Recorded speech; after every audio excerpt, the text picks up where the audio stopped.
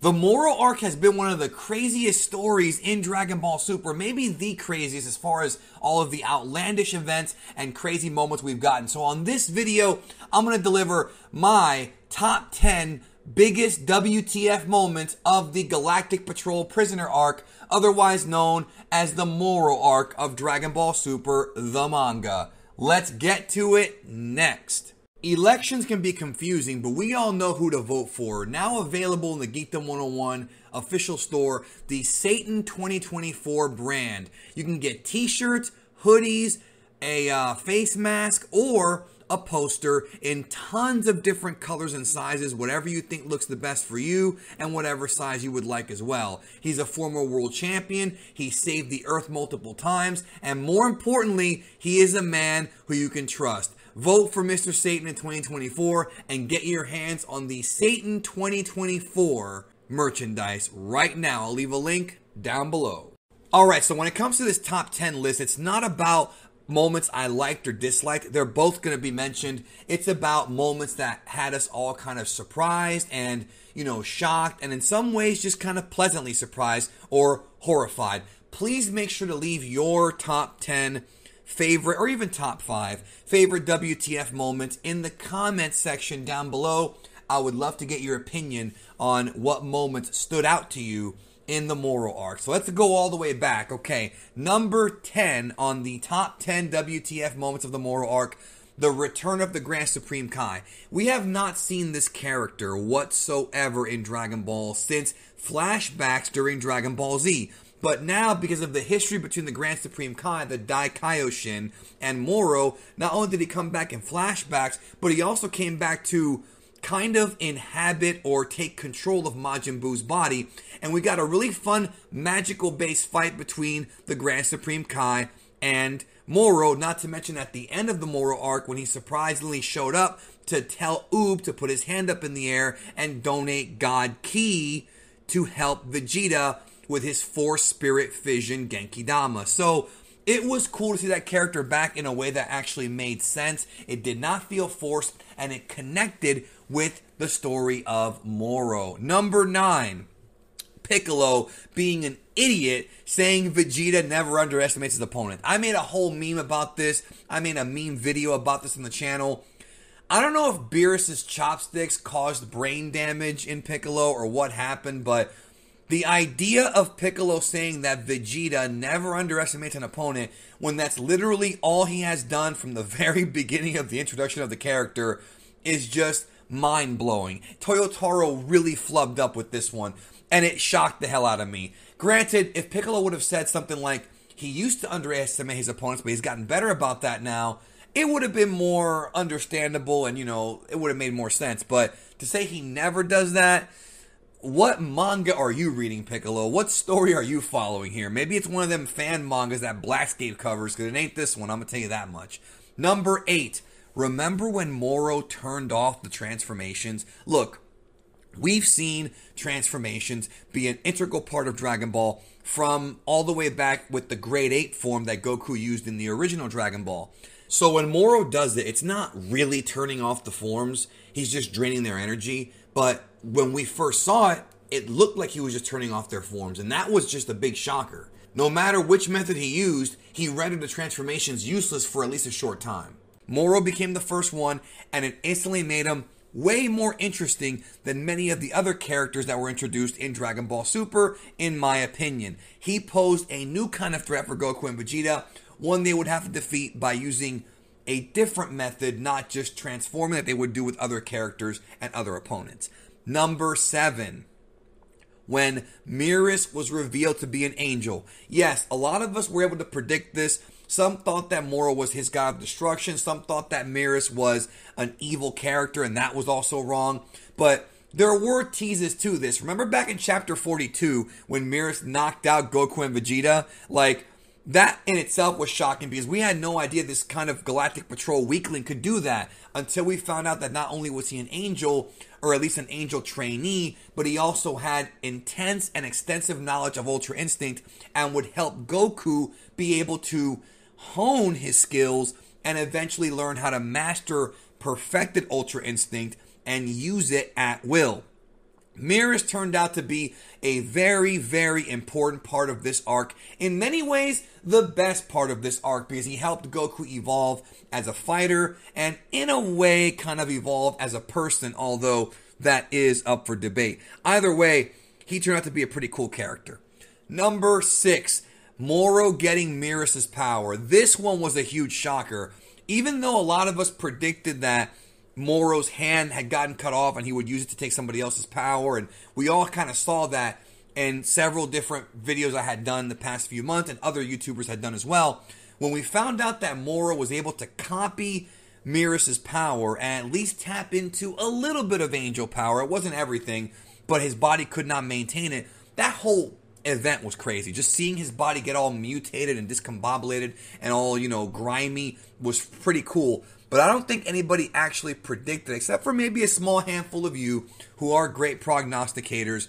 I don't think many of you were able to predict the fact that Moro would actually be able to use some of Merus's power. Not all of it because he's immortal and Miras is an angel and they're totally different types of beings. But either way, that was a big shocking moment when it happened. And we are now halfway through the top 10 WTF moments of the Moro arc. Number five. Here we go one of my favorite moments, one that I totally loved, and that was Moro crippling the Z Fighters. When Moro first transformed and got 7 3's power, the fact that he went in there in a very violent and bloody way and just dismantled the Z Fighters, you know, Gohan took punishment, Piccolo, he just went in there and just wrecked them, including ramming his arm through Goku's chest, leaving a huge scar on Goku's chest. Like that was freaking incredible, yo. The blood, the violence, something that we had not seen from the Dragon Ball Super anime because of Japanese television restrictions and the time slot. We may never see that on TV ever again, unfortunately, but it reminded me of some of the more violent moments of classic Dragon Ball and Z back when things were just totally bloody and totally gory before things change in Japan. And sometimes, like I said in that review, you have to use blood and violence to illustrate how dangerous the opponent is and to illustrate the pinch, the danger that the heroes are in. And I think that that chapter and that moment really illustrated that. And Toyotaro did a great job with that. Speaking of Moro and 7-3, number four on the list is when Moro 873. Granted, we had an idea that 7 3 would be involved in the finale one way or another. And I do feel like after this happened, Moro's character kind of did regress a bit. But when we first saw that image of Moro eating 7 3, he opened up his mouth and literally swallowed this thing. I mean, he likes to suck, he likes to swallow. Think whatever you want about Moro right now. The bottom line is just that image of Moro doing that, even before the transformation was just a crazy visual. Like, I cannot wait until the anime version of Super adapts this, whenever that is, and we get to actually see this in anime form because we've seen like Cell and Majin Buu absorb people and stuff like that, but it hasn't quite been like this. He didn't have to turn them into candy like Majin Buu, where he just literally opened his mouth and swallowed the dude whole. And yeah, that was a crazy visual in the Moro arc. Number three, the most annoying moment of the Moro arc I've talked about this in several videos. There's not really a need to repeat what I'm saying in detail here, but it's when Goku gave Moro the Senzu Bean.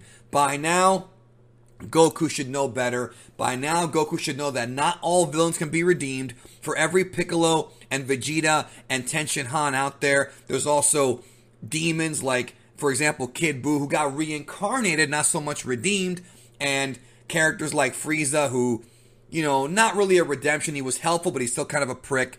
And other characters like that who are just going to be evil, and Moro's just an evil guy. But Goku not only had mercy on him, which is one sort of a mistake, so to speak, but he also gave him a senzu for no reason. He could have just arrested him and sent him away, but he gave him the senzu, and to me, that was a boneheaded move by Goku. And that's not just my opinion.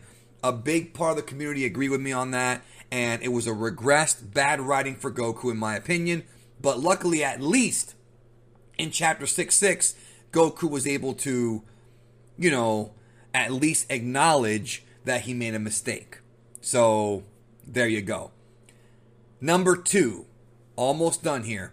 When Goku created the giant hologram of himself at the end of chapter 66. This was a crazy visual. Goku goes in there with Ultra Instinct after being regenerated by the Genki by the spirit fission energy of Vegeta, everybody else, and of course the surprising assist of Oob, not even knowing what he was doing, to give Goku the power to create a hologram key image of himself to hold down Moro while his true self came out of his forehead and punched Moro in the crystal forehead and finishing him off once and for all. This is a brand new ability for Goku, one that I thought was pretty damn cool visually.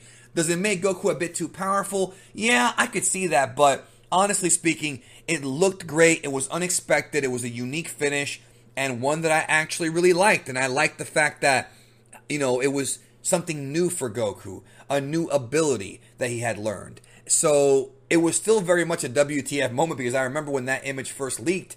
I mean, everybody was just going nuts. Like, what the hell's going on? What is this? Nobody understood what the heck was going on. And they made comparisons to other anime and other manga, but either way, it is the second, to me, most WTF moment in this entire arc. What is number one? My number one WTF moment that had me going, huh? Was Moro fusing with the Earth. We've never seen this before. It's something that really took a lot of balls for Taro to do to create this grand climax where Goku was able to battle against Moro. Moro had no choice but to absorb himself because his body was totally out of whack. He had to absorb himself or fuse himself with the entire planet. So it was Goku facing off against the Earth controlled by Moro, who was also sucking up energy through the gravity in the Earth itself. So this was just crazy. It was a crazy visual. There was comparisons to Gengar and the Cave of Wonders from Aladdin, and just seeing this and seeing Goku go up against a villain that was planet size, literally, it's like Unicron or some shit, right? Like this was just a great visual and a great final test for Goku in this arc. Granted, there were a lot of problems with the writing in this arc, and you know, ultimately there were there are things to nitpick. Unquestionably, I still feel like this was a great sort of final chapter to Moro and a true new challenge for Goku because remember, he could not just destroy the Earth because the galaxy was in danger, and we don't want that. Also, millions of lives, billions, in fact, of lives were in danger. Maybe more than that, even if you count the entire galaxy. So, with that being said, that to me is my number one most WTF moments of the Moro arc. Those are my top 10. What are yours? Leave a comment down below. Thank you for watching, and I look forward to seeing what happens next in the Dragon Ball Super manga. And I look forward to eventually someday seeing these moments play out in anime form because if they get the right animators in there, it could be quite a treat for us to watch. Thank you. Have a great day. And if you enjoy this video, check out these videos as well. I love you.